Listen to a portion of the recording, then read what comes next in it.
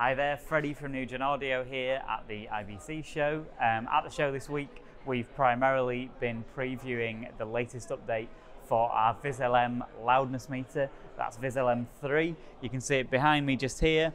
Um, this is a beta version, so there's a, a few kinks still to be ironed out, uh, but you'll get the idea. So VisLM 3 has all the features from VisLM 2 that you know and love, plus a few kind of uh, exciting new features. So we've got the um, the ability to measure in segments as well as the full program.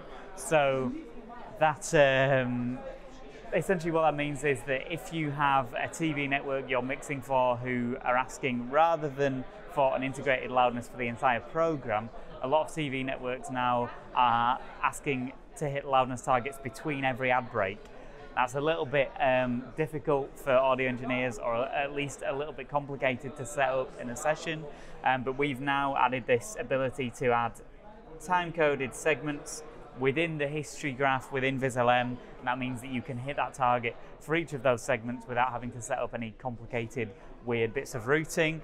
Um, we've also got stem monitoring, which is a little bit of a misnomer. What we mean by stem monitoring is that the multiple instances of VisLM within one session will all link together automatically. So you can name those whatever you want. This one's called Dialogue. My other one is creatively called Audio Zero, which doesn't mean a lot, but uh, uh, essentially, if you have more than one instance of VisLM in a session, you'll be able to flick between those within the same UI, so you don't have to switch between different windows.